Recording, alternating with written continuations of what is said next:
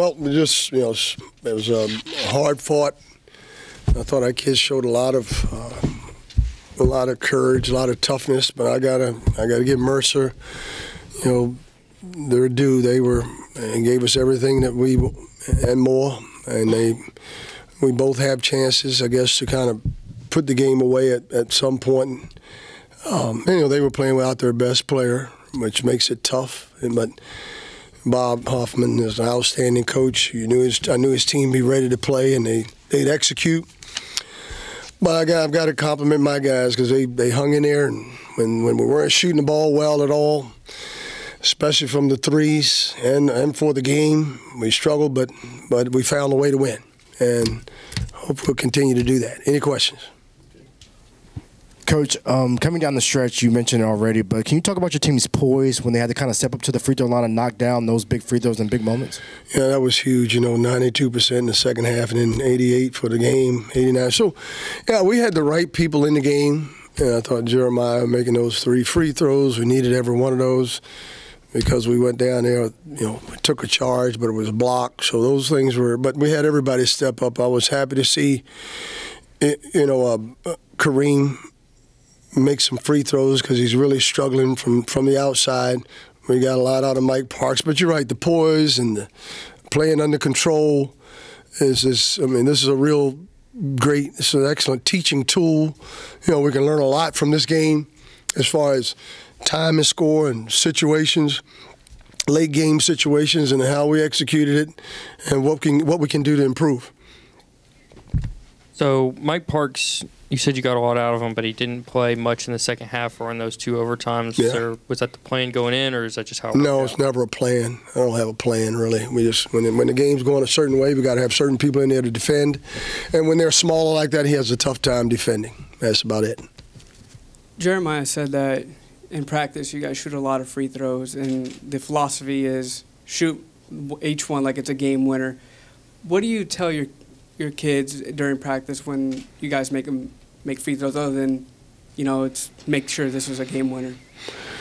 Well, we do a number of different drills to try to put pressure on players to, you know, we have a drill called three, two, one. They have to make three in a row, two in a row, one in a row, and that's kind of the way the game is. You know, you have to make three free throws at one point. You might have a two-shot free throw. You might have an M one.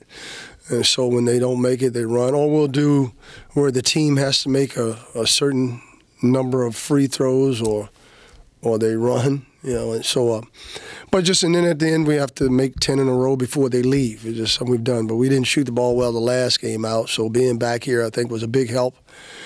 And and the right people on the free throw line helps also. What was your mindset going into the double overtime? Well, you know, it's it's you know you just want to be uh, you want to be under control. You make sure that we psychologically, fellows, that's you know great job. You want to be positive.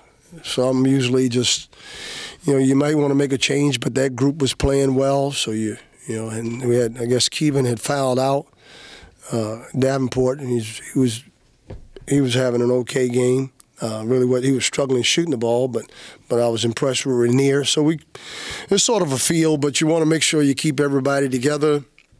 Make sure they there's a there's a lot of positive vibes coming from myself and the coaching staff, um, and making sure that we we know what each situation is as far as um,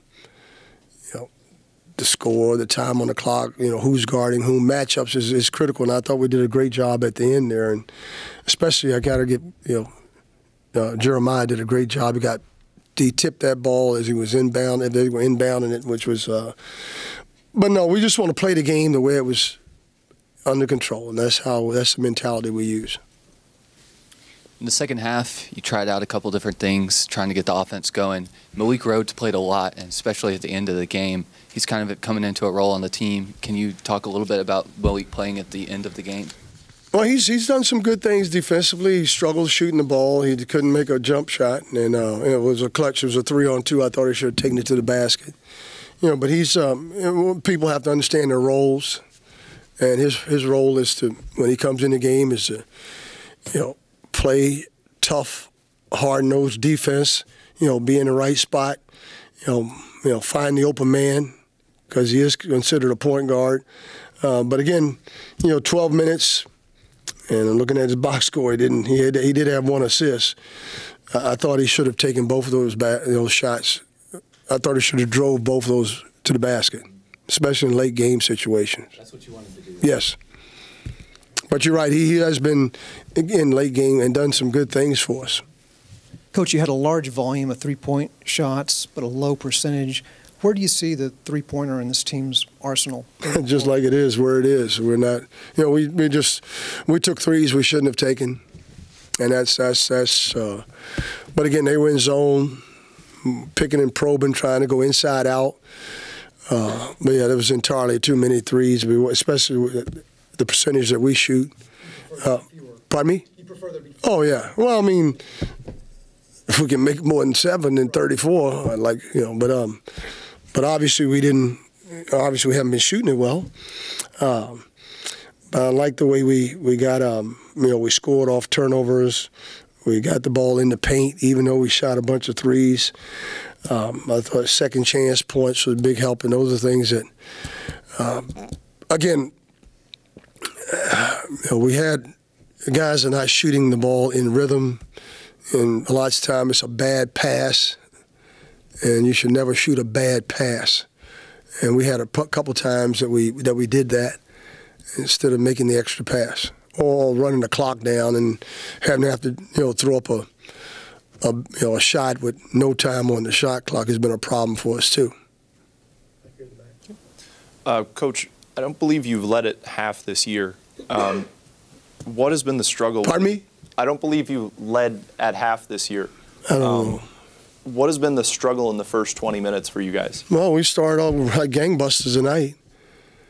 You know, people go zone, and then we become a little more uh, hesitant, and we we really have taken some bad shots. Just some bad shots, and that's what that's what leads to poor percentages. Either a bad shooter taking bad shots, or a good shooter taking bad shots. And um, in our situation, you know, I haven't figured it out yet. Uh, so that's been that's been our biggest challenge guys We'll settle for things when we and we probably need to look at our offense and see what we need to do to, to get more movement, more cuts to the basket. Uh, but it's early yet. We're still learning. You know, we have you know, this is our what sixth game and that was this was their what, ninth game. So it makes a difference when you have games under your belt, and we'll get it. We'll improve, we'll improve in that area. The players also talked about the slow starts and it's basically almost coming down to chemistry. Do you think as more games are played and guys get more familiar with each other, are able to get sustain those um, and not go in those scoring droughts where you don't score for five, six minutes at a time like it was in the first half? in two separate occasions? Yeah, we got to be a lot smarter. We had guys make shots and we didn't go back to them. We just have to be, you know, we have to be conscious of that. So if that's chemistry, that's chemistry. But I guess, you know, we, uh, we we've, um, and you know, when you have so many new new faces and new players that are learning a new system, we knew it was going to take time.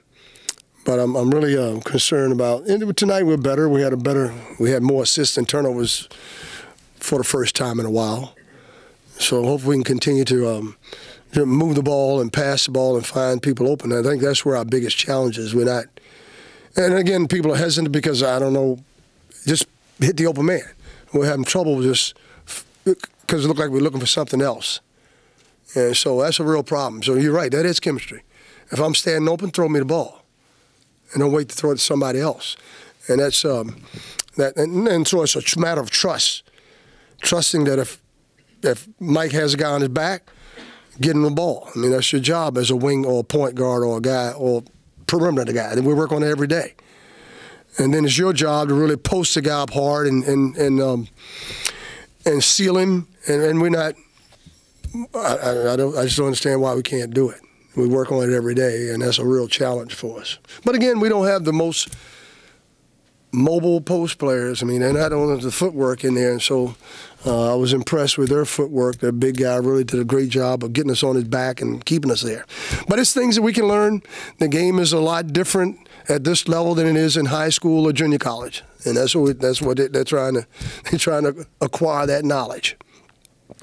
So after the UAB game, you said that you're working on finding this team's identity. Yeah. And then Jeremiah Martin reiterated that again today. Do you think pressing and causing chaos, like Kareem Brewton said with the press, is going to be part of that identity going forward? A big part, or just a small part that you deploy occasionally?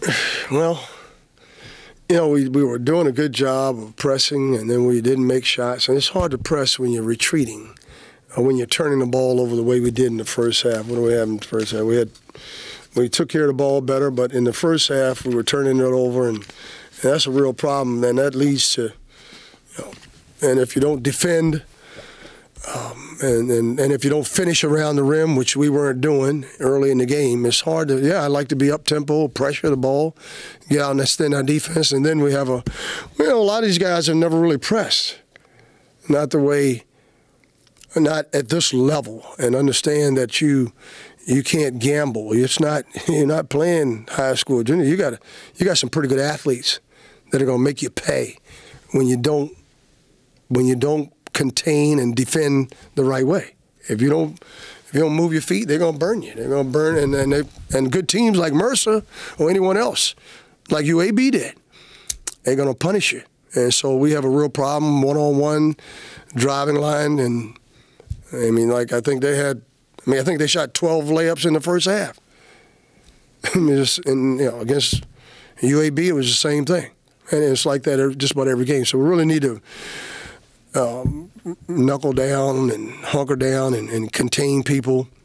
So that's something we're working on, and, and I think we'll improve it. And now, if we can do that and we can score, then we can get into our press and be more of a up tempo team. Thank you.